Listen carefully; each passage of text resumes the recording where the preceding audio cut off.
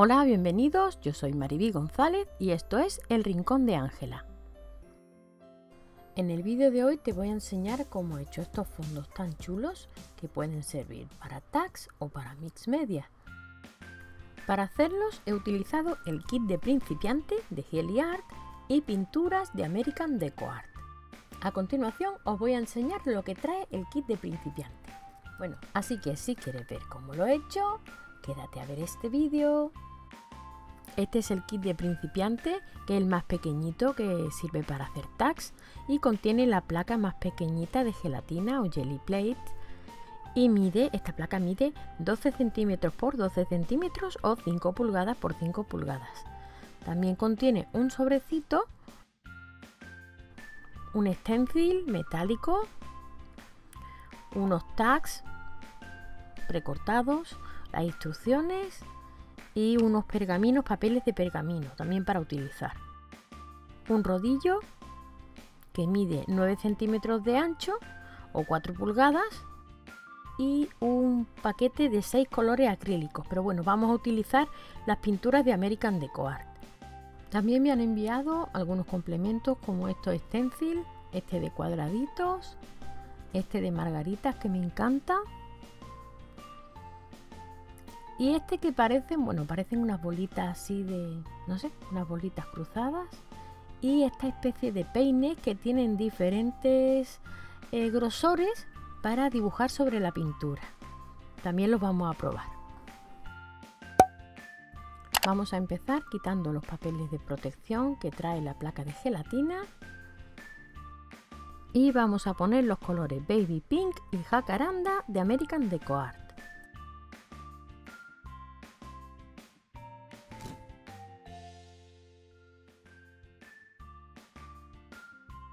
Y vamos a extenderlo con el rodillo.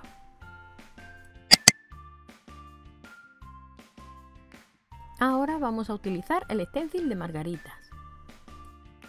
Ponemos el stencil encima de la pintura y ahora ponemos un papel y pasamos muy fuerte las manos por encima y ahora vemos cómo queda. Vamos a continuar con el proceso. Como veis se han quedado las margaritas eh, impresas en la, en la gelatina y ahora vamos a seguir echando pintura y vamos a echar unas gotitas de pintura en color amarillo limón o green citron. Echamos unas gotitas y le vamos a dar con el rulo. El papel donde descargo la pintura del rodillo también puede servir para hacer mix media o para recortar porque quedan unas marcas chulísimas. Ahora vamos a poner el stencil que venía dentro de la cajita y vamos a marcarlo. Vamos a coger otro papel y lo vamos a poner encima. He cogido este de las flores y voy a marcar la mitad. Y ahora cambio de sitio el stencil y lo voy a poner en la otra mitad. Y ahora en la mitad de la cartulina que no había marcado, vuelvo a ponerlo y marcamos de nuevo. Apretamos con las manos para que cargue la pintura bien y se quede marcada por todas partes. ¿Veis? Fijaros cómo queda.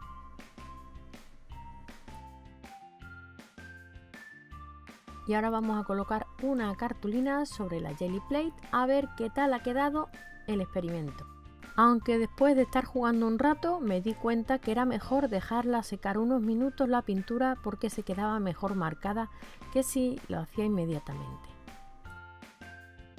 Así que como este era el primer intento, voy a continuar con eh, las demás herramientas experimentando. Y vamos a coger uno de los peines, estos que traía, y vamos a seguir haciendo, pues jugando con la pintura.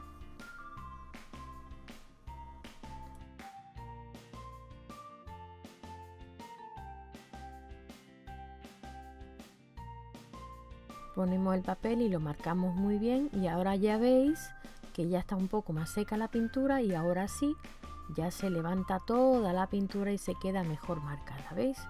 Ahora sí ya se quedó bien. Bueno, como veis básicamente es jugar.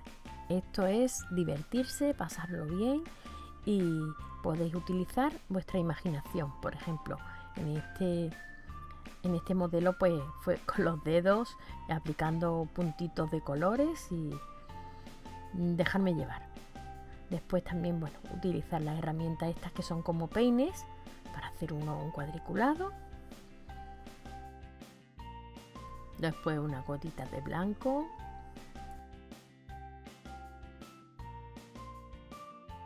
Otras gotitas de turquesa susurrante. Los mezclamos un poquito con el rodillo y vamos a utilizar otro de los peines de los diferentes peines que vienen en el set. Más turquesa susurrante y otro golpe de rodillo. Y vamos a ver el resultado. Ponemos la cartulina y apretamos muy bien para que se marque eh, todo toda la pintura en el papel. Veamos cómo ha quedado. Muy chulo sí señor Empezamos de nuevo y vamos a mezclar muchos colores.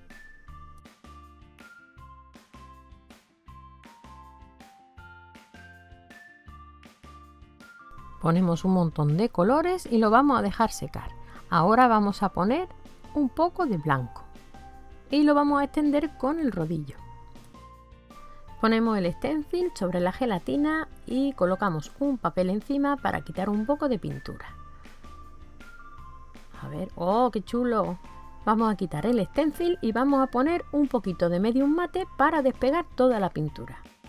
Extendemos muy bien con el rodillo el medium mate y ponemos una cartulina sobre la jelly plate. Hacemos presión con las manos para que se quede la pintura bien bien pegada y levantamos el papel y ya tenemos aquí otro fondo.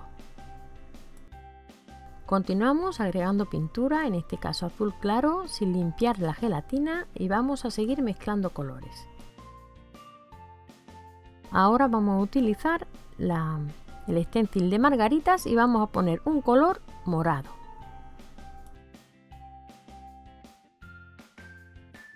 Ponemos la cartulina y apretamos muy bien para quitar un poquito de pintura. Que se quede, a ver, a ver cómo queda. ¡Ah, qué chula! Quitamos el stencil. Agregamos amarillo ananá y rosa calesita. Y vamos a poner sobre la jelly plate un papel de burbujas. Vamos a hacer presión con las manos para que se quede marcado sobre la, la pintura. Y ahora ponemos una cartulina también podemos utilizar la pintura sobrante para marcarla en uno de los fondos que hemos utilizado, ¿veis? Y se queda marcada. Vamos a hacer presión con las manos para que se marque la pintura que habíamos puesto ahí y ¿veis? Fijaros qué chulo. Además de pintura acrílica, también he utilizado para probar rotuladores al alcohol. Aunque el fabricante no recomienda utilizar rotuladores de alcohol con la Jelly Plate porque se mancha, no pasa absolutamente nada porque esté manchada, porque no eh, repercute en los trabajos que vaya a hacer. Simplemente que tiene unas manchitas de colores, pero no pasa absolutamente nada. Eh, no repercute en los trabajos, como ya os he dicho. Eh, el tipo de trabajos que hice con los rotuladores me encantó. Ahora veréis el resultado, queda precioso. Podemos hacerlo con niños, es súper divertido y ya os digo, el resultado es espectacular. Quedan unos fondos súper bonitos, súper alegres y muy recomendable. La verdad, me encantó trabajar con este tipo de, de herramienta, la Jerry Plate, y con los rotuladores me lo pasé genial. Y simplemente pues marcar eh, rayitas, puntitos, cruces, colores, ir mezclando y eso es lo que fui haciendo. Alternando corazoncitos, florecitas y en diferentes colores, cruces, puntitos. Y cuando ya tuve completamente terminado, pues eché un par de gotitas de medium mate de American Deco Art y la extendí con el rodillo. Después ya puse el papel encima y con esto ya se transfirió eh, lo que es todo lo que había en la jelly plate al papel. Hacemos un poquito de presión con las manos y al levantar fijaros qué cosa más bonita, yo creo que es uno de los más bonitos, de los fondos más bonitos que hice. Y bueno, jugando, jugando, hice estos tags con los fondos que hice con mi Jelly Plate, los recorté y le puse unos sellitos. Y recorté las cartulinas para hacer tarjetas o tags o recortar cualquier troquelado, no sé, para utilizarlo en otras ocasiones. Me quedaron preciosos, me encanta. La verdad me ha encantado probar este producto porque le veo muchas posibilidades para hacer mi propio papel de scrap, no sé, para jugar con los niños este verano, con mis sobrinos. E incluso creo que me voy a comprar la más grande para utilizarla para mi art journal, para hacer fondos de mix media, que creo que va a ir muy bien porque tiene muchas posibilidades. La verdad me encanta, no puedo decir otra cosa, que estoy alucinando con esta herramienta. Bueno, ya casi todos sabéis que me encanta el Art Journal y el Mix Media, así que no puedo decir otra cosa.